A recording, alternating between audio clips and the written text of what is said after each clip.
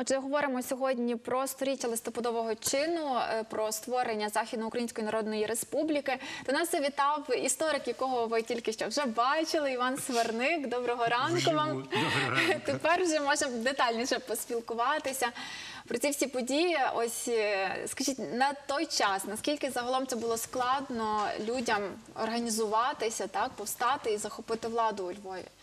Е, Мушу сказати, що для сучасників захоплення влади українцями було великою несподіванкою.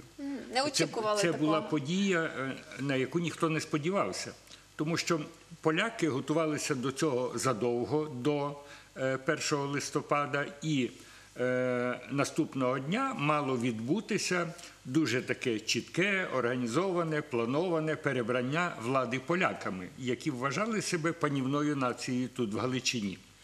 Е, Однак сталося зовсім інакше завдяки Дмитрові Вітовському. Ми бачили ролик про нього, про цього е, видатного діяча і організатора.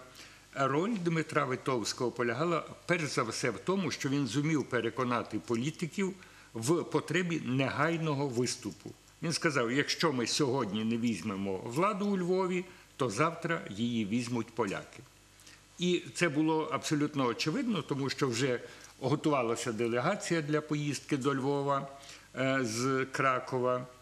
Е, У поляків були великі ресурси, була військова організація таємна, яка готувалася до таких подій.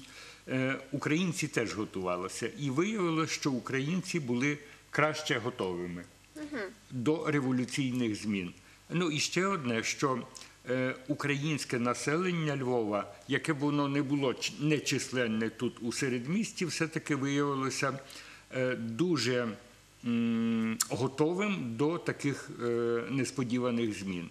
І українці з передмість зібралися сюди до центру Львова, допомагали бійцям, е, налагоджували харчування цих, цих військових, надавали медичну допомогу, все, що потрібно було для нормального функціонування військової організації і цивільної адміністрації.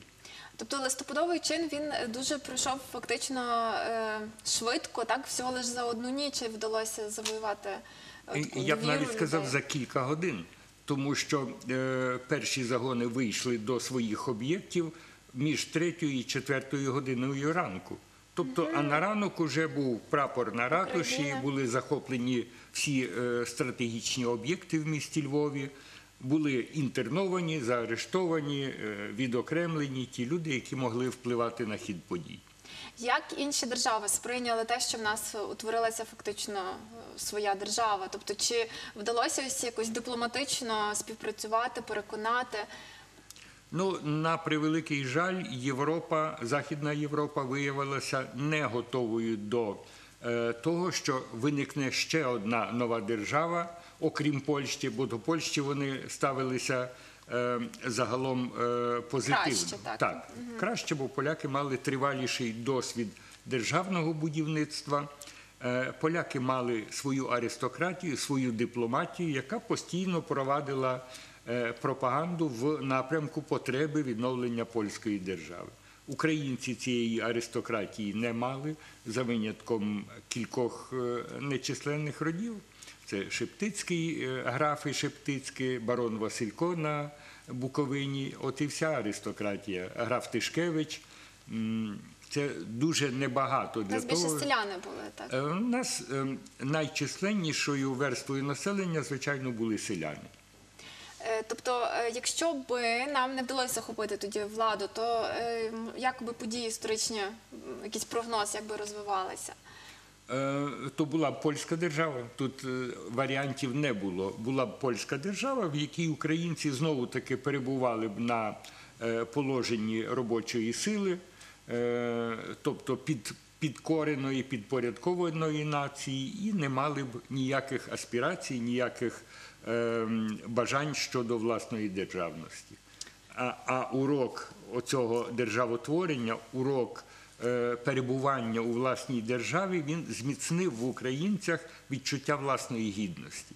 Він дозволив відчути себе державними творцями, державними діячами, чи на рівні громади, чи на рівні повіту, міста, ну і врешті на рівні цілої держави. Тобто вплив надзвичайно великий ось цієї події на те, що ми зараз маємо незалежну на Україну. українців, на українців загалом, на те, якими вони себе відчували, усвідомлювали. Ментальність, так. Ментальність, так, звичайно. Це найбільший урок Західноукраїнської Народної Республіки. Ну і коли говорити про те, що нам дала ЗУНР, це е, урок мирного співжиття між націями. Галичина була дуже строкатим е, в етнічному і релігійному сенсі краєм. Е, е, У Львові жило десятки різних націй, національностей і етнічних груп, і всім їм е, галицькі політики українські запропонували рівну участь в державному будівництві, участь в установчих зборах, які б мали вирішити про долю держави, про її устрій, про земельні справи, освітні, культурні і так далі. І так далі. І деякі нації скористалися з цього. Ну, якісь основні висновки ми можемо зробити зараз, тобто якийсь досвід почерпнути із тих подій, можливо, щось ми можемо якось зараз теж е, Для, для нинішньої, е, нинішнього моменту, звичайно, нам важливо е, згадати, яку єдність і солідарність галичани виявили в 1918 році. Е, Ми маємо на превеликий жаль зараз е, досить розшароване суспільство. Є різні е, політичні орієнтації, є різні групи впливу. Е, Ми бачимо навіть е, незгоди в обласному, міському керівництві, коли будуються одночасно два пам'ятники Західноукраїнській Народній Республіці.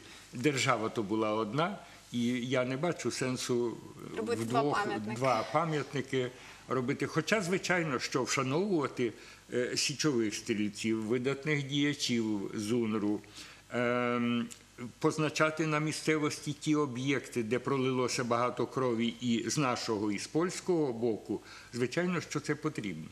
І, і свого часу я ходив на цитадель, дивився на зруйнований бастіон, одну з башт.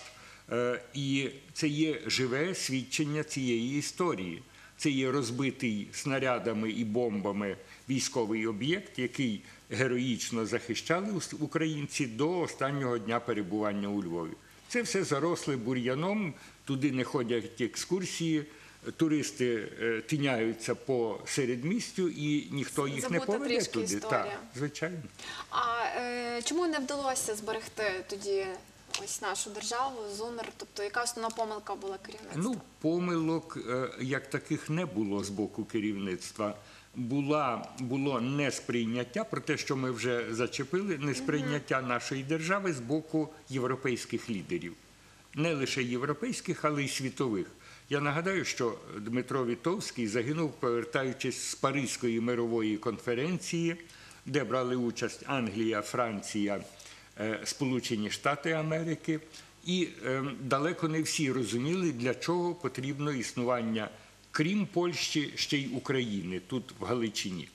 Вони вважали, що основну ставку треба робити на поляків, кинути всі сили на зміцнення однієї держави, а другу полишити на волю переможця.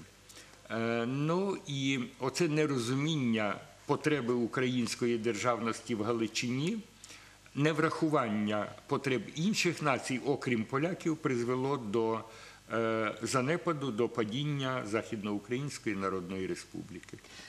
Ну Що ж, пане Іване, я вам дуже дякую за розмову, за те, що пояснили, роз'яснили, нагадали про ці всі події. Сподіваємося, що е, сьогочасні політики вони будуть все таки теж е, черпати якісь такі певні моменти з історії, робити висновки і відповідно зараз також поводитися.